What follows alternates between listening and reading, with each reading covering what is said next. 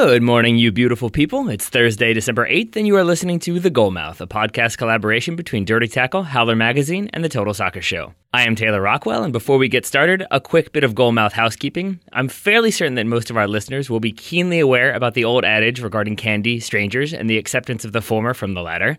And yet, on yesterday's program, George Qureshi, who happens to be a grown man, made it clear that he would willingly accept a cheeseburger from strangers, particularly if said food were hurled in his general direction. So, for the purposes of public safety and keeping our George safe and sound, let me say this folks, don't accept projectile sandwiches from people you don't know. It's just a bad idea.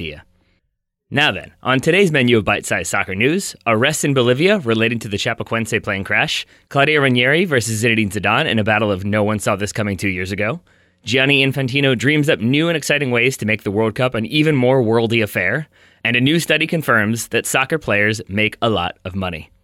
Up first, I'm starting with serious news. According to Deadspin, the CEO of the airline involved in the Chapecoense plane crash has been arrested. La Mia Airline Company has been under investigation in its native Bolivia regarding possible negligence in relation to the plane crash that claimed the lives of 71 of its 77 passengers. Bolivian authorities arrested La Mia CEO Gustavo Vargas and two other employees of the small airline charter and interviewed them for up to eight hours regarding whether or not the airline followed proper safety procedures. Bolivian Attorney General Ramiro Guerrero later stated that the situation, quote, could easily turn into a manslaughter case, end quote.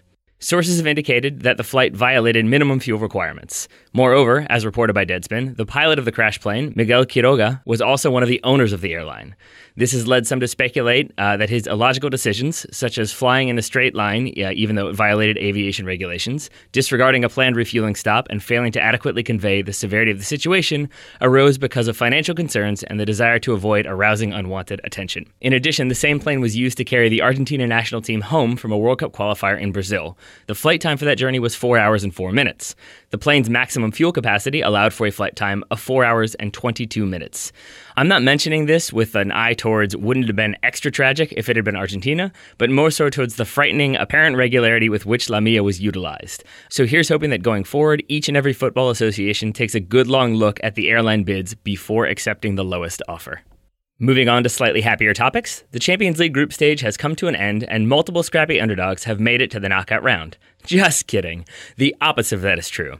15 of the 16 teams that advanced were seeded in the top two pots when the group stage draw was initially conducted, Monaco being the outlier. In addition, each and every team in the knockout round plays in one of Europe's top six leagues. On the one hand, this is a bit of a bummer in that it rules out minnows making it far to the tournament, though Leicester would probably be the closest in that regard. Uh, on the other hand, that means there are a possible round of 16 features, including Arsenal Real Madrid, Barcelona Bayern Munich, Atletico Madrid Man City, and Dortmund PSG. In actuality, Leicester are statistically most likely to draw Real Madrid. So for those of you who had the foresight to put $5 on Real Madrid will one day play a Champions League knockout round game in Leicester way back in the summer of 2015, prepare to collect your millions. On Tuesday, Daryl brought us all a pleasant reminder of why FIFA probably shouldn't be automatically trusted when he reported that Sepp Blatter's six year ban had been upheld. Anyway, current FIFA president Gianni Infantino wants to change the format of the World Cup. Again. His new plan calls for an expansion to 48 teams, which would be divided into 16 groups of three teams each. The top two teams in each group would advance to a 32 team knockout round. FIFA will discuss the proposal and several others at a meeting scheduled for January 9th in 2017. Other options apparently proposed by Gianni include keeping the tournament at its current size, expanding to 40 teams, which would be 10 groups of four or eight groups of five, or sticking with a 48 team format, which would feature a 32 team one game knockout round with the 16 winners advancing to join the 16 teams that had qualified automatically. Every proposed option has its strengths and drawbacks, and I'm actually personally in favor of, well, maybe keeping it as it is, or if I have to choose an expansion, probably the three team per group, 16 group format. That said, given the rate that new concepts are being drawn up, I'm inclined to paraphrase the famous line from Mark Twain If you don't like Gianni Infantino's new World Cup expansion plan, just wait 10 minutes and you'll get a new one. And now for some breaking news. Footballers tend to make a lot of money, at least according to a new study conducted by a British marketing agency and a Norwegian financial consulting firm.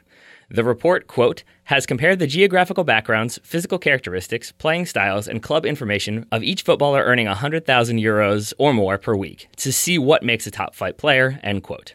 Among other things, the survey found that Cristiano Ronaldo, Gareth Bale, Lionel Messi, Hulk, and Neymar have the highest weekly wages in the world. Manchester United and China spend a lot of money on player salaries, and being a Pisces means that you aren't as likely to rake in the big bucks. That's right, the survey even notes astrological signs, and for those curious, makes it clear that it's good to be a Taurus, a Cancer, or an Aquarius. Oh, and shock of all shocks, the Premier League contains more of the world's highest paid players, 43%, than Serie A, MLS, Ligue 1, Bundesliga, and La Liga combined, 42%.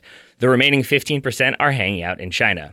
If it wasn't already obvious, I spent way too much time playing around with the data in this report, and I think my favorite finding is this. In terms of the FIFA video game skill rankings, only eight players with five star rankings were in the top tax bracket. Interestingly, footballers with an average ranking of three stars or fewer make up 60 plus percent of the world's 100,000 euro or more earners. Hooray for mediocrity. And speaking of, that's it for today's Goalmouth. You can explore all these stories in more depth by subscribing to our newsletter. The link is in the show notes. If you're inclined to be an especially wonderful listener, you can subscribe to the Goalmouth in iTunes, tell a friend about the program, or leave us a review. The choice is yours. I've been Taylor Rockwell. Ryan Bailey will be with you tomorrow, but until then, I'll leave you with today's Goalmouth top tip. If you want to succeed, give it 100%.